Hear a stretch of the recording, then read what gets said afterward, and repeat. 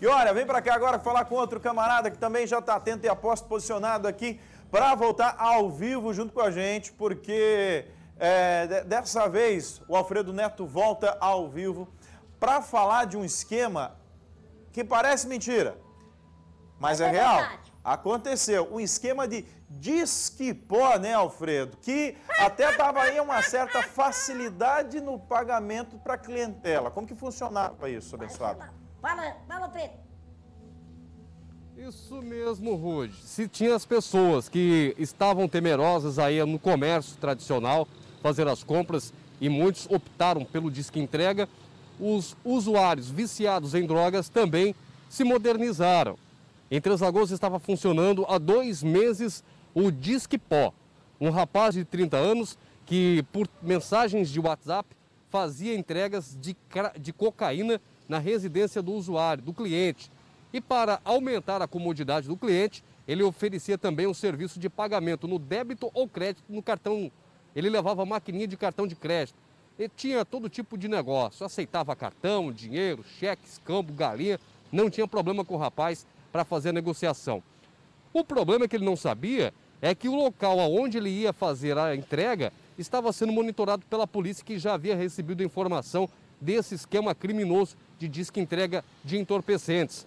A hora que ele viu a polícia militar na rua João Gonçalves de Oliveira, no bairro Interlagos, tentou fugir com o carro, mas não conseguiu. A polícia conseguiu alcançar.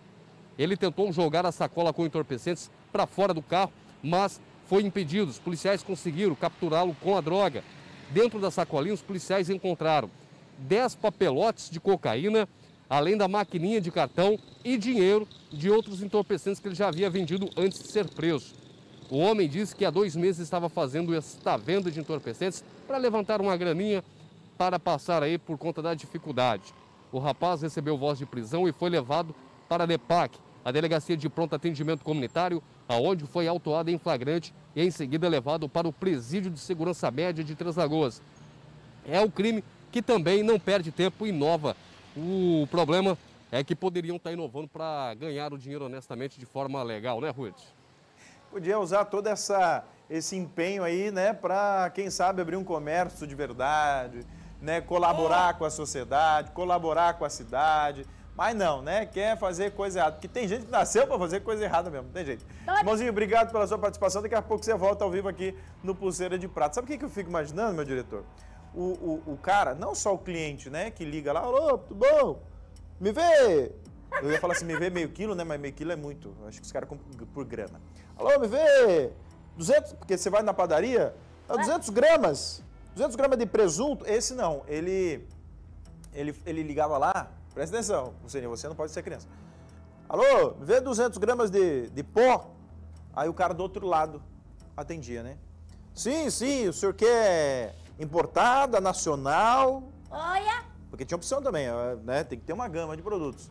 Aí o cara escolhia e falou, ok, forma de pagamento, ah, cartão, ok, vou, vou mandar a maquininha então pro senhor, tá bom? 20 minutos, chega na sua casa. É como pedir pizza, gente. Vai, pé sujo. Droga tá assim agora. Tá mais fácil que comprar pizza. Tá assim. O traficante ficou cara de pau, já não tem mais medo de nada. Muitas vezes já faz até uma reservinha, uma grana ali para poder pagar o advogado, porque sabe que uma hora a casa cai. E assim tá indo. Virou negócio, virou negócio não, o negócio virou há muito tempo, né? Só virou um negócio fácil, que agora qualquer um acha que pode entrar no crime organizado, pode montar a sua quadrilha, todo mundo quer ser Pablo Escobar, né? Todo mundo quer montar o seu cartel. Mas a conta uma hora chega, a casinha cai, a polícia dá o atraque e o cidadão vai parar atrás das grades. E todo o trabalho, toda a grana que juntou vai para a mão dos advogados. No fim, quem ganha dinheiro mesmo é, é, o advogado que vai tirar esses camaradas da cadeia. Né? Ô, ah. E agora molhou pro pé sujo. Isca o quê? Polícia! Rodou, rodou. Rodou.